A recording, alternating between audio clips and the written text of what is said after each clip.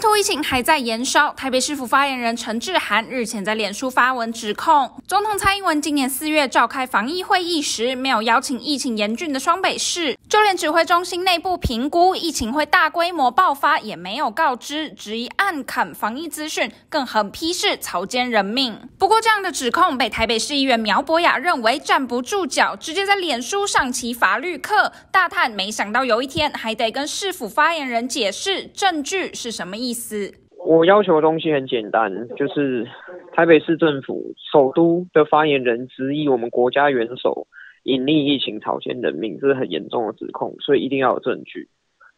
那所谓证据的意思就两种嘛，一种是证人，不然就是证物嘛。那陈志恒最大的问题就是他一开始呢写了蔡总统隐匿疫情草菅人命的时候，没有附上任何的证据。就是他片面的说法，那就等于是一个短篇小说嘛。他讲一个故事。苗博雅发函台北市卫生局正面询问蔡总统有没有隐匿疫情，得到的回答是中央地方一直都互相配合，明显打脸陈志涵说辞。而柯文哲在议会受询时则表示没看过陈志涵这篇 Po 文。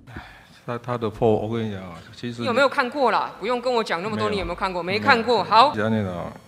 如果是陈志然写的，就要叫陈志然回答。柯文哲，我们台北市的防疫指挥官，跟我们台北市负责防疫的卫生局局长都说不知道陈志涵在说什么。我觉得台北市政府要知道一件事情，哎，陈志涵他是市长公开任命的发言人，代表就是市府的立场。市长怎么可以在事后去回应说他不清楚、不知道，这是他个人意见？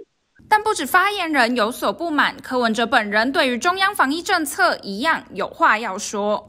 六月一号开始，为了协助施打五到十一岁儿童的疫苗，所以中央决定在六都加开六个大型的接种中心。台北市设在自由广场，这也是疫情指挥中心先宣布了。嗯，到此刻为止没有接到任何正式通知，不管口头或书面。这个很白痴的命令很白痴的命令。命令怎么说？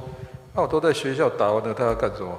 市民期待的应该是一个做的比说的更多的市政府市长的这个嘴巴很厉害，可是经常逞口舌之快的同时，有很多市民实际上的需求没有被照顾到。我我想市民对于市府的施政满意度应该是最直接的一个指标，所以我还是建议柯市长可以在他逞口舌之快之前啊，先把该做的工作、该给市民的服务都做好。